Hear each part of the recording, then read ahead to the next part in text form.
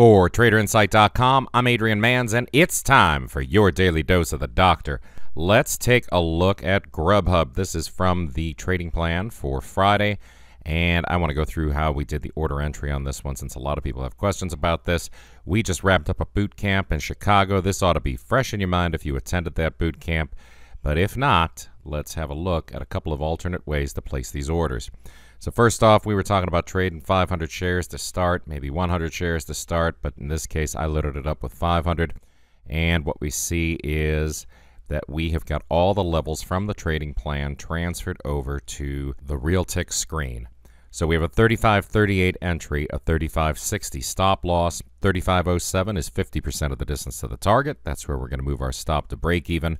3486 is 10 cents to the target. At that point, we are going to move the stop from 35.38 down to 35.07. And once we hit the target, of course, we've got the trade set up to take us out of the position. Now, this morning I didn't have a bunch of time, so I did not set this one up as a bracket order. On Realtick, if you push F7, you can have this order entry screen appear at the bottom of your chart. So here what we did was loaded it up with 500 shares, put our 35.38 stop price in, and said the worst slip we're willing to take is one penny to 35.37.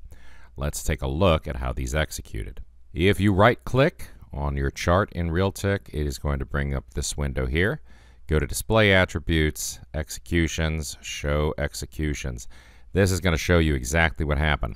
These square boxes represent the time that you place the order. So when I saw price moving lower, I jumped on it. I put the order in here. We see that we have an order that says to sell 35.38 it shows that we had a fill at $35.37 that fill happened right here at this round marker then once we were in the position I went to my market maker montage and put in the rest of the order as an OCO so in that case all you had to do was go to your market maker screen click on system order forms bring up OCO and this lets you put in the second leg of the order transfer the values for your stop loss and your profit target directly from the trading plan and of course, on 500 shares, we see that the net result was an exit right at the profit target for $305.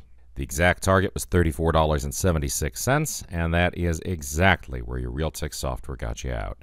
Once again, you can evaluate your executions by looking at these execution bubbles. These square boxes represent when you place the order. These round bubbles represent when you got filled. And that's really all you need to know in order to make an intelligent observation about your order routing and whether or not you took an excessive slip on any of these positions. So if you have any questions, shoot me an email, adrian at traderinsight.com. I hope you're having a great trading day today and an even better one on deck for Monday. The best trader education anywhere, only from traderinsight.com.